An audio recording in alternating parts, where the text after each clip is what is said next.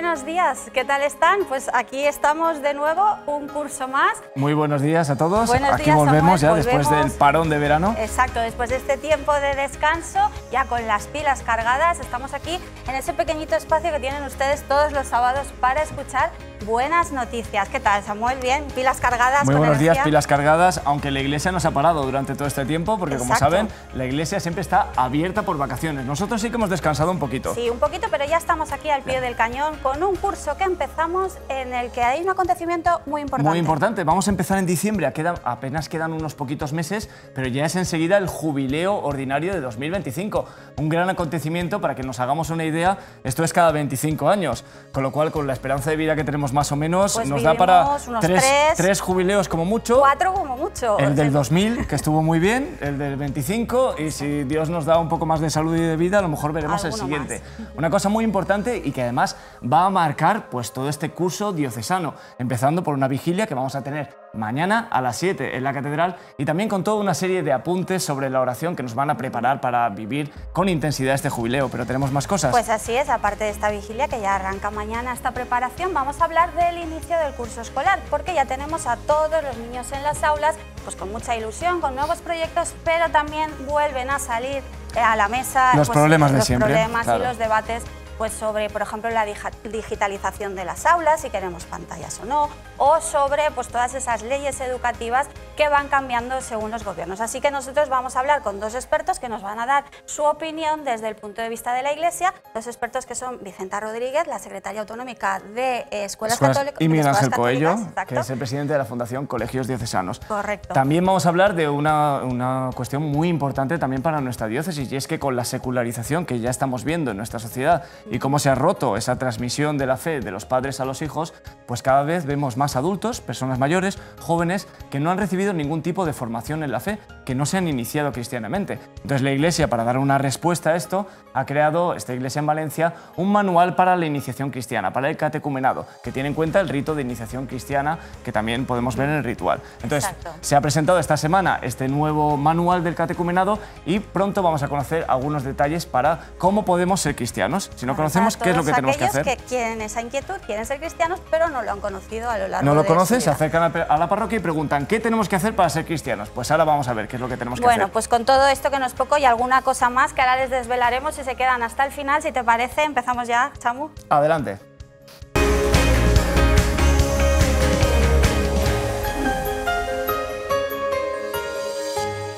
Pues arrancamos nuevo curso, ya lo hemos dicho, comenzamos el rodaje y volvemos a poner sobre la mesa temas que preocupan pues tanto a los docentes como a los centros, pero sobre todo también a los padres. Nosotros hemos querido abordar este regreso de la mano de dos expertos en la materia, como decíamos, por un lado Vicenta Rodríguez, secretaria autonómica de Escuelas Diocesanas, y Miguel Ángel Coello, gerente de la Fundación Colegios Diocesanos. Pues sí, hemos hablado con ellos un poco de los retos, de los desafíos a los que se enfrenta hoy en el mundo de la educación. Unas entrevistas que han sido muy extensas, que han dado para mucho y que desde ya les invitamos a leer completas en la revista Paraula. Nosotros solo vamos a presentar hoy los aspectos más destacados un poco para introducirnos en esta reflexión. Empezamos con un tema que nos preocupa mucho a los que somos padres, ¿verdad, Marta? Exacto. Todo lo que tiene que ver con la digitalización. A mí también me ha costado decirlo, la digitalización. Vamos, Los que si queremos pantallas o si no queremos Si queremos las pantallas en las aulas o no las queremos. Vamos a ver qué opinan los expertos. Eh, a nivel de escuelas católicas hemos mm, propiciado ya bastante formación a los docentes para no solamente conocer perfectamente los entresijos de la inteligencia artificial, que sabemos que ha llegado para quedarse entonces tendremos que aliarnos y aprovechar de ella lo positivo y lo bueno, pero también estamos ahora preparando para finales de octubre una jornada en la cual pues, vamos a trabajar más profundamente con familias y con profesorado el tema de, de las adicciones, de la dependencia, del tema de las redes sociales, porque es una preocupación total de la comunidad educativa. ¿no? Buscar los límites siempre es complicado. Hasta dónde sí y hasta dónde no. Hasta dónde un libro digital o hasta dónde un libro de papel. Ya sabemos que ahora hay una corriente que nos lleva otra vez a escribir a mano que es lo perfecto, escribir a mano desarrolla el cerebro, la corteza prefrontal. Es bueno utilizar las tecnologías, pero sin que sea eh, lo esencial. Es decir, la tecnología es una ayuda, pero no es lo esencial. Y estamos ofreciendo cursos de formación para este tema a nivel de escuelas católicas nacional y también de la comunidad valenciana. Y hoy podemos decir pues, que vivimos y estamos en continua reflexión por un poco por la necesidad de que la digitalización no se convierta, digamos, en el elemento diferenciador. El elemento diferenciador no puede ser la digitalización, ser un instrumento al servicio del método que se utilice para, para trabajar por y para la persona. Pues también hemos tenido ocasión de hablar con ellos sobre las leyes de educación, cómo afectan los cambios de las normativas según los gobiernos y cuál sería la solución a estas constantes modificaciones para el sistema educativo. Vamos a escuchar. Que la educación no debe ser moneda de cambio, ¿no? ni ser utilizada por los partidos políticos. Realmente lo que nos hace falta es una estabilidad en el sistema educativo. Creo que esto urge que urge una adecuada financiación de los centros. Yo creo que lo más importante de la educación es ofrecer una dualidad de, o sea, una dualidad de redes para que los padres puedan elegir. A veces entramos en una confrontación entre la enseñanza pública y la enseñanza privada, de cuál es mejor, cuál es peor, y al final nos olvidamos de que hay un derecho de los padres a elegir el modelo educativo que quieren para sus hijos. La educación pues tiene mucho que mejorar, creo que eh, por parte de la comunidad educativa y por parte de los órganos políticos tienen que tomar en serio la educación y sobre todo generar un pacto por el cual el sistema educativo se estabilice y no estemos sometidos, como decía antes, un poco a los vaivenes y a los cambios que se pueden producir. Haría falta en España un pacto educativo, un pacto donde todas las fuerzas políticas se pongan de acuerdo y digan, vamos a hacer una ley que realmente quiera eh, que nuestros alumnos aprendan, eh, sean personas de bien y un sistema educativo que sea común para todos los alumnos, independientemente de que estés en Bilbao, en Segovia o en Sevilla. Decir a las familias que, estamos para colaborar, que estamos para acompañar aprendizajes y que estamos para que reforzar la educación que se da en casa. ¿no? Y a las familias pues, que sepan que la escuela es su cómplice y nunca su enemigo. Pues por último, ya entrando en materia y también arrancando esos motores para el comienzo del curso, vamos a escuchar los retos a los que se enfrenta este curso la educación católica, desde el punto de vista, como estamos viendo, de los colegios diocesanos, pero también de escuelas católicas.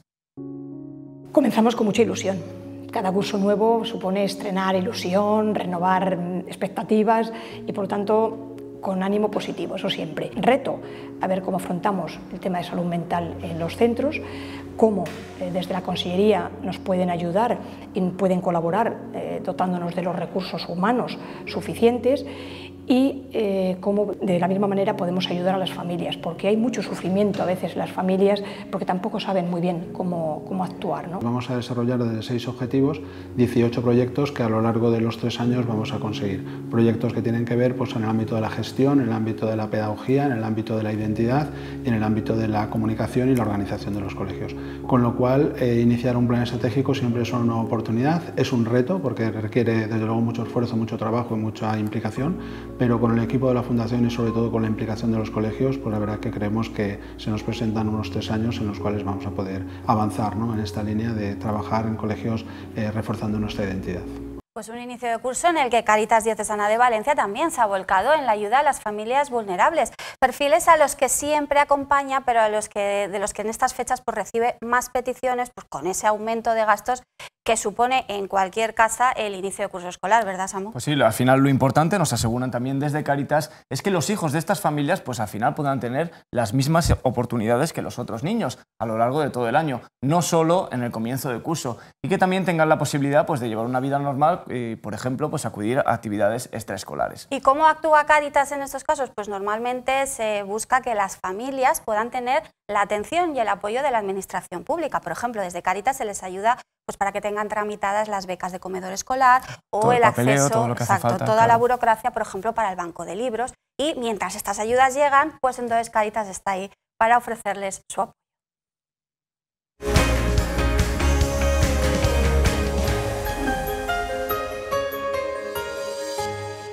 Pues vamos con ese gran acontecimiento que tenemos ya en el horizonte, el jubileo ordinario del año 2025, para el que seguimos preparándonos después de estas vacaciones de verano. Arrancamos el curso con la vista puesta en una fecha clave, el 24 de diciembre, cuando el Papa Francisco va a iniciar el año jubilar con la apertura de la Puerta Santa en la Basílica de San Pedro.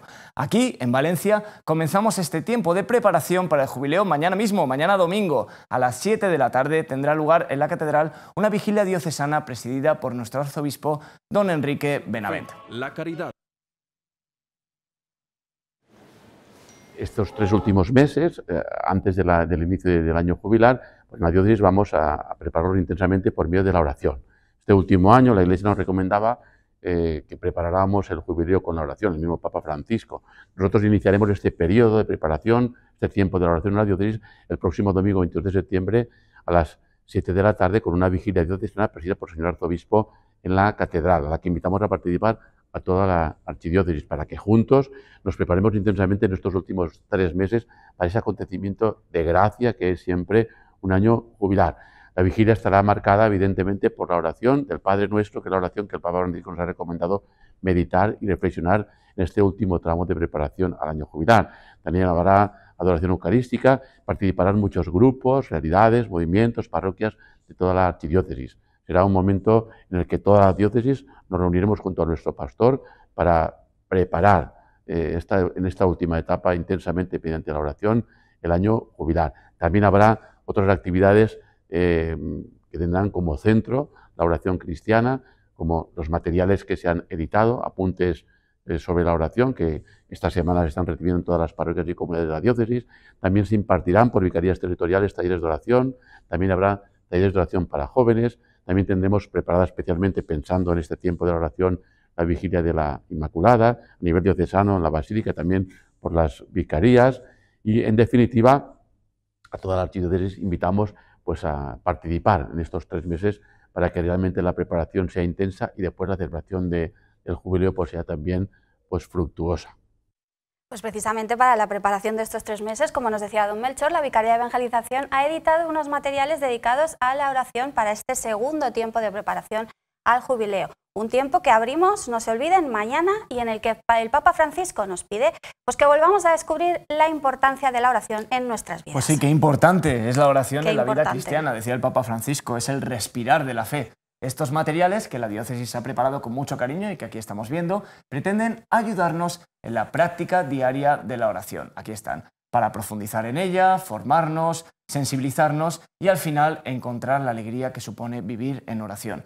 Estas páginas son como una especie de escuela de oración, podríamos decir, unos materiales que además están inspirados en los apuntes editados por el Dicasterio de la Evangelización del Vaticano. Se trata de textos sencillos, al alcance de todos, y que podemos encontrar en la página web de la diócesis archivalencia.org.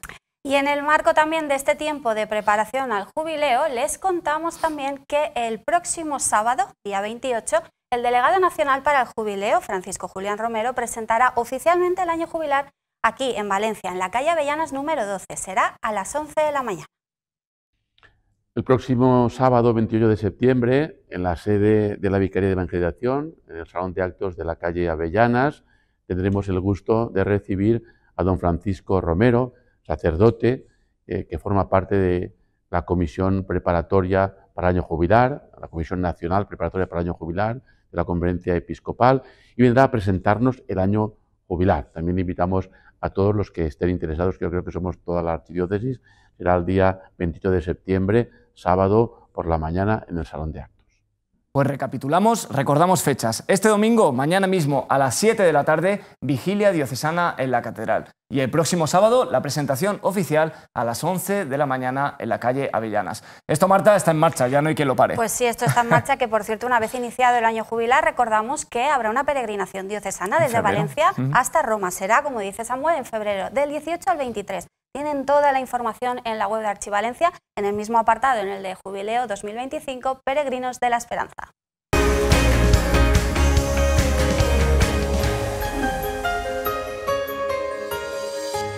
Pues hablamos ahora de un fenómeno que cada vez es más frecuente, porque a pesar de la secularización que parece llevarse por delante toda la cultura cristiana de nuestra sociedad, cada vez encontramos más adultos que se acercan a la Iglesia para iniciarse en la vida cristiana o incluso para recuperar la fe que algún día tuvieron. Así es, hablamos del catecumenado que nos adelantabas antes, Samuel, catecumenado para adultos, una realidad que ante la creciente demanda pues ha querido afrontar desde el arzobispado con un directorio que unifique los pasos a seguir en toda la diócesis. Un documento titulado Quiero ser cristiano, ¿qué debo hacer? ¿Qué tengo que hacer? Exacto.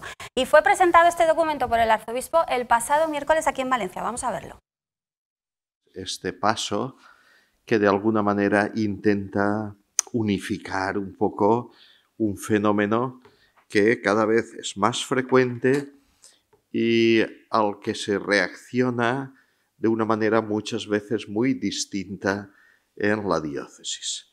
Yo pienso que lo más importante de este plan o de este directorio es precisamente que es un primer paso para unificar la vida de la diócesis en un aspecto que cada vez es más frecuente y que cada vez pues se ha generalizado más. Se puede necesitar una ayuda para la formación catequética, también a lo mejor para que el catecúmeno conozca a otras personas que están viviendo su mismo proceso.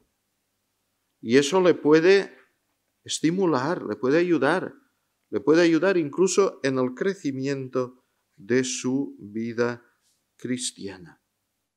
Pues durante esta presentación, el director del Secretariado para el Catecumenado, Francisco Furió, destacó el incremento de adultos que solicitan ya entrar en la iniciación cristiana. Para ello tenemos varias vías. Por un lado, los adultos que han recibido algunos de los sacramentos en su infancia y por otro, los que no han conocido la fe y ahora, pues consciente y libremente, quieren seguir este camino. Francisco Furió y el delegado de liturgia, Edgar Esteve, nos van a contar más detalles.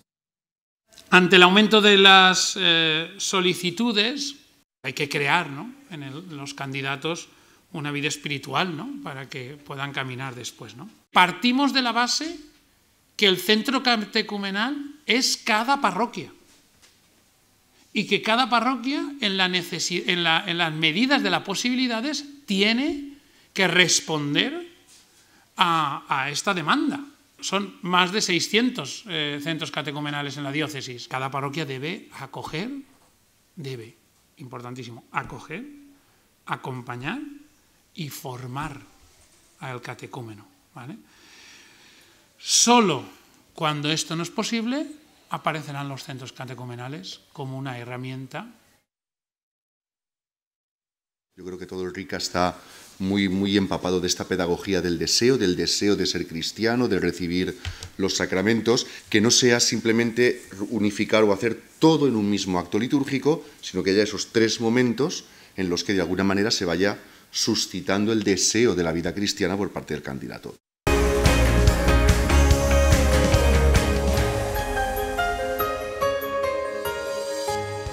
Vamos con nuestro repaso de otras noticias de nuestra iglesia. ya teníamos ganas de esta ronda. Vamos a comenzar porque reformar, reparar, restaurar y cuidar nuestras iglesias, nuestras capillas, es el mensaje que nos recuerda este domingo el Día de los Nuevos Templos. Una jornada que nos invita a rezar por la construcción de nuevas iglesias, locales parroquiales y también por su reconstrucción y su mantenimiento. También nos invita esta jornada a colaborar con las colectas específicas que irán destinadas a este fin.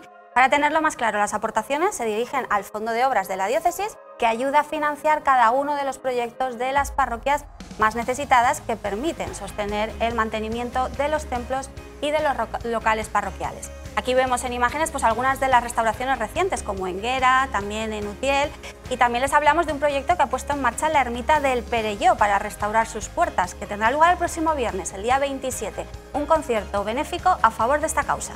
Vamos con más noticias. El turismo facilita el encuentro entre los pueblos y culturas, permite vencer miedos y crecer en la fraternidad. Este ha sido el mensaje con motivo de la Jornada Mundial del Turismo que nuestro arzobispo dirigió a toda España durante la misa que presidió en Torrent y que fue retransmitida por 13 Televisión con motivo de esta jornada. Tuvo lugar en la parroquia de la Asunción de Nuestra Señora y estuvo concelebrada por el responsable nacional del turismo de la Conferencia Episcopal Española y también de la Archidiócesis de Valencia, don Gustavo Ribeiro. Y las reliquias de San Francisco de Borja visitan nuestra diócesis donde permanecerán hasta el 4 de noviembre. Los restos mortales del santo permanecerán este tiempo en la parroquia de San Francisco de Borja de Valencia, pero también realizarán pequeños recorridos, por ejemplo, hasta Gandía, ciudad natal del santo y a Turís. En concreto ahora se encuentra precisamente en la ciudad condal, donde permanecerá hasta el 1 de octubre. Y del 18 al 20 de ese mismo mes visitará la localidad de Turís.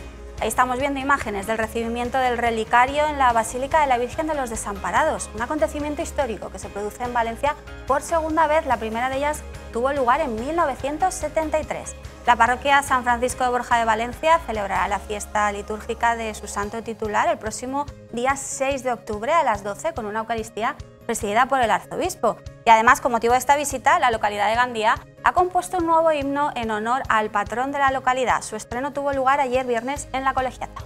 Pues hemos arrancado el nuevo curso con la incorporación de dos nuevos vicarios episcopales. El hasta ahora rector del Seminario Mayor La Inmaculada en Moncada, Fernando Ramón, es ahora el nuevo vicario episcopal de la Vicaría 5, la de Giria, Requena y Ademuz sustituye a Agustín Alcaide, que ha sido nombrado vicario episcopal de Acción Social y Caritativa, una vicaría episcopal estratégica que ha sido restablecida este nuevo curso por el arzobispo. Ambos tomaron posesión de sus nuevos cargos, aquí lo vemos durante la celebración del Consejo Episcopal en el Palacio Arzobispal. Fernando Ramón deja así el Seminario Mayor después de 15 años dedicado a la formación de los seminaristas, 13 de los cuales ha sido rector y Agustín Alcaide asume la responsabilidad de esta Vicaría de Acción Caritativa y Social que acompañará a las instituciones y fundaciones que día a día hacen presente la acción caritativa de nuestra Iglesia Valenciana. Y no puede faltar en esta ronda de noticias el mantenerles informados de las visitas de la imagen peregrina de la Virgen de los Desamparados. La patrona ya ha retomado sus visitas a los devotos, concretamente la semana pasada estuvo en la Pobla del Duc y este fin de semana la tenemos en la localidad de Yatoba, donde va a permanecer hasta mañana domingo.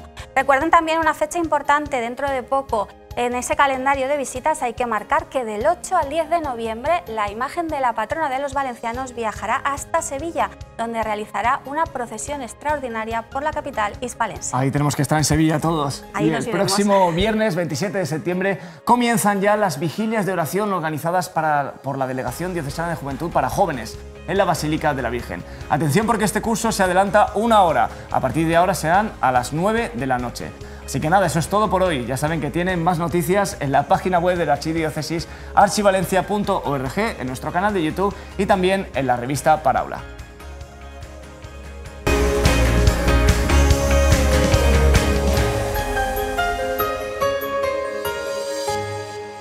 Pues este mes de septiembre el Papa Francisco nos pide que recemos por el cuidado del planeta, ¿verdad? Pues sí, la, Tierra está en peligro, dice el Papa Francisco. Cada vez sufrimos más desastres ambientales, eh, sequías, deshielo, y es necesario dar una respuesta firme a esta situación. Una respuesta que no debe ser solo ecológica, sino también económica y, por qué no, también política. Lo escuchamos.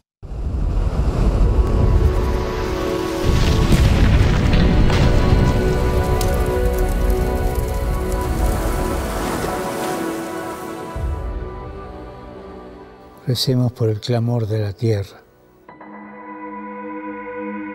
Si tomamos la temperatura del planeta, nos dirá que la tierra tiene fiebre.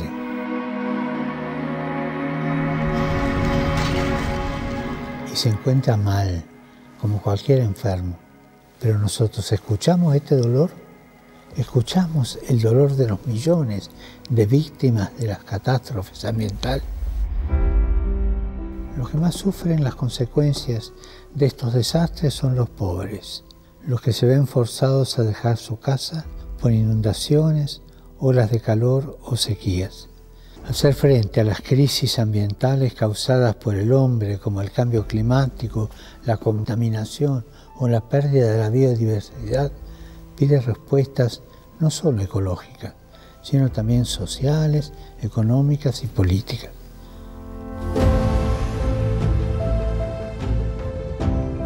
Tenemos que comprometernos en la lucha contra la pobreza y la protección de la naturaleza, cambiando nuestros hábitos personales y los de nuestra comunidad. Oremos para que cada uno de nosotros escuche con el corazón el clamor de la tierra, el clamor de las víctimas de las catástrofes ambientales y del cambio climático, comprometiéndonos personalmente a cuidar el mundo que habitamos.